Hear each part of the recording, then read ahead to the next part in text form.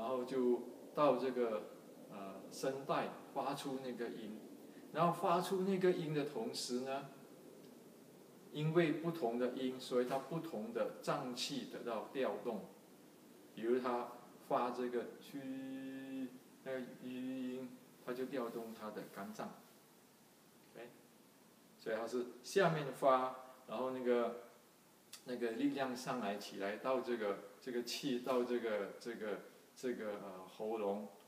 声带，然后就发那个吁的音，然后在那个时候自然的，因为那个音。的共振，这个肝脏就得到这个调动，或者是得到这个啊共振，OK，那就是调动它的这个内脏，它六个六个字，它就有调动肝、心、脾、肺、肾，加上第六个是三焦，哦，所以它大概是这样子。那它这个音呢，它也是很。很呃很很细的，一个叫口型，看这个口型。第二个呢，就那个音，其实音有三啊有三个，比如我们说这个吁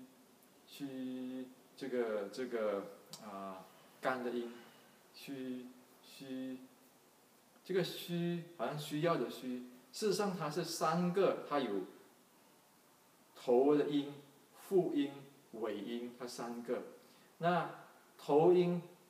西，它变成西，复音是吁，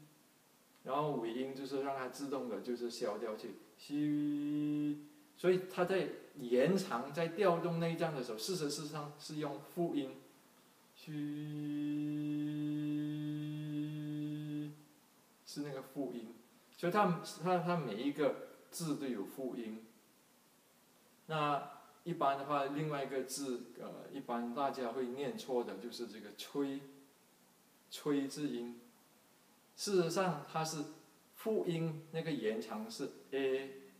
是英文 a b c 那 a，所以它是“吹”，不是“吹”，“吹”。因为如果你念“吹”而不是“吹呃那个延长的话，肾脏不能，那个肾脏是不动的。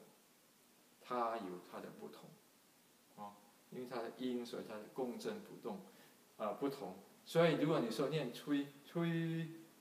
那个那个地方那个那个肾脏那个肾脏区那种感觉和吹那种开放感觉那是不同。所以吹字事实上是真念吹吹，就是这样念的啊。所以它你看它有这个。腹部呼吸，然后那个复音来延长，然后它会造成震动，这些事实上要老师去来带领，然后在练的时候是会呃老师会放手在那个那个脏器每一个脏器的后面，念对了，它那个它会动的，哦，它就是有这回事。然后另外一个东西就是说。在念的时候，那个气息也不可以很大声，因为那个是伤气的，就有这回事。然后另外一个就是说，这个六字节一定要肝、心、脾、肺、肾、三焦这样子一轮的念，而不可以个别字拿来念，因为这个是要有五行的这个这个对称，啊。不能把把它脏器的这个动呃这个这个这个功能变成这个偏偏偏掉去，所以从呃古代来就啊有这个这个呃这个啊这个整个六字节要一起念，要顺序的念，而不能乱这个或乱次序错误，或者是乱掉次序，或者是这个。这个用一两个念，那用一两个，比如说有时候呢是会这样的，比如说心脏，心脏不是很好，然后呢，呃，为了在某某一个情况之下，是练了这六字节，这个六个字音一起练，练完之后，多加几遍的心，科心是科科。啊，可是那个也不过就是只是几天之内事情，一旦调平衡了，那就不可以这样练了，就是一一定要练这个，这个肝、心、脾、肺、肾三焦，这样子一轮一轮的练，所以这个就是调动内脏。所以你看刚才我们这个，由这个腹部呼吸的时候就啊增加了增大了这个氧氧气，增加的呼吸量。然后很大的这个内脏的这个呃幅度的那个那个动作，所以有这个内脏按摩。然后到第四个这个次第，就可以个别的脏器的去调动，然后让它疏通，让它这个血气呃这个这个疏通，这个解掉去有什么滞啊，或者是这个啊不通的地方啊。呃，这个做这些事情，然后另外一个回事就是在调动的时候，比如说他吐，呃，吐气的时候发这个音，发完音之后，发完了，吐完了，他就放松，自然的呼吸。之所以吐有益，吸无益，让他补回来，把这个先把这个不好的吐出去。然后再补回来，啊，它就有这样的事情。所以在吸气的时候很重要，吸气的时候全身要放松。这个这个是也是一个呃很重要的一环，虽然说他没有出声所以就是这么回事。一般要六字节练入门，至少要到这个地步，没有这个地步，事实上就有点像这个。天龙八部，我们看那个段誉的六脉神剑，有时灵，有不是不灵，所以你说治病，没有这个程度不行。哦，那真正的练练到这个次第的时候，就是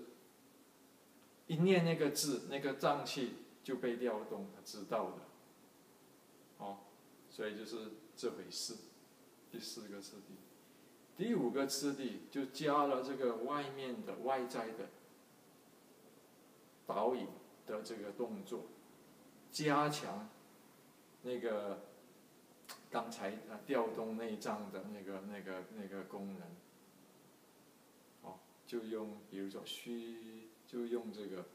这个这个动作来加强它的循环，好，那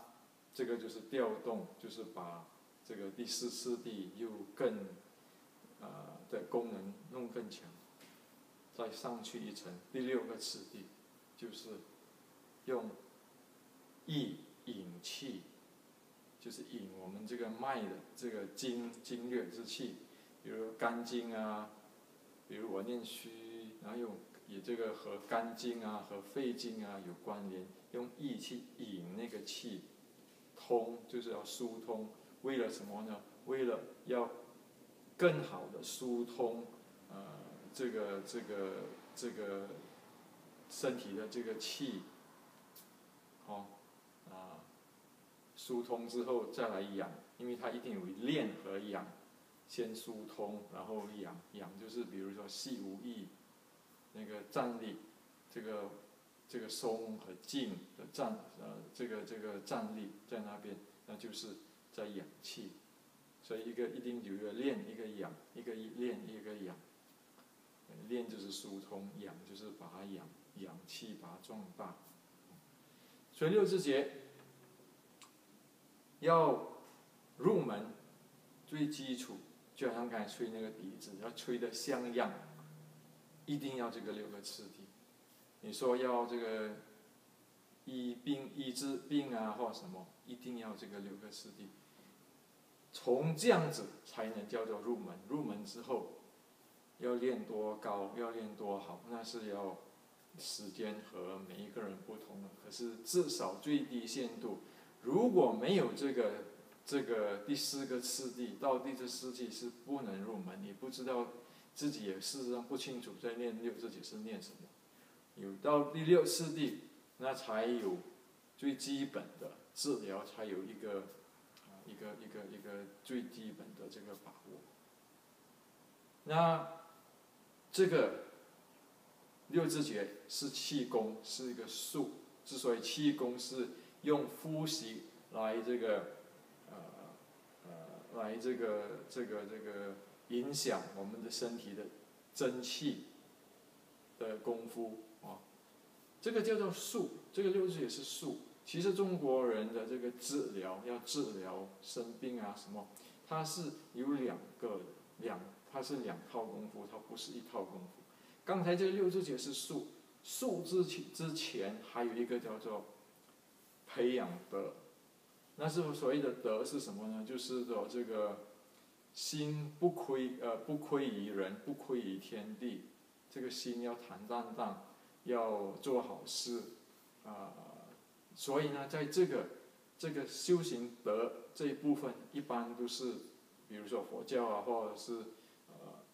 佛呃就是佛教来说，就是忏悔法门，自己要看着自己什么不对的，有亏人的，有负人的，这个做的不对的，应该要还要还，应该要这个道歉要道歉，啊是这样子的，然后。就是要原谅别人，要原谅别人，要原谅自己，要原谅自己。这个就是呃修养德，就道德那个德，就是德行。这个德，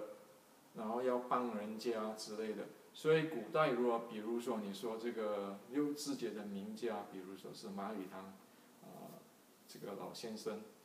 他教六字诀，你看他的写作，他的什么，他一定说一定要修德，要要要要做很这个很好的一个人，修德，将练六字诀。所以一般的这个中国这个所谓治病，就是要把德自己的不好的这个改正，所以修行嘛，把这个改正，然后加上用这个术，就是六字诀来调整身体。哦，或者是心态，那有这个德，然后有调整这个身心的这个这个术，这两个一起才算是呃全的。所以我了解的六字诀大概就是这样，就和大家分享。